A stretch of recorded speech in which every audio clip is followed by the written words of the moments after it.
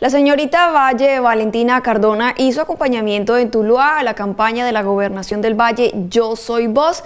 Además demostró su conocimiento en los temas relacionados sobre la ruta de atención a la violencia contra la mujer. Debemos tener siempre en cuenta que todos somos aptos para denunciar, desde niños, jóvenes, adultos. Todos podemos denunciar, se nos va a prestar la misma atención inmediatamente.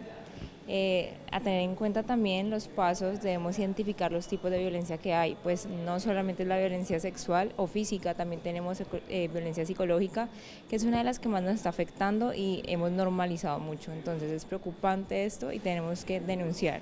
¿Dónde tenemos que denunciar?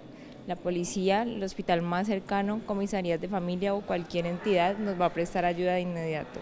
También contamos con unas líneas de atención al cliente o al, a la persona que lo necesite, que es 123 y 144 si es el caso de que un niño ha sido violentado y también el 155. Es muy importante que nos vinculemos a esta campaña que se llama Yo Soy Voz porque es necesario que las mujeres se den cuenta que no estamos solas.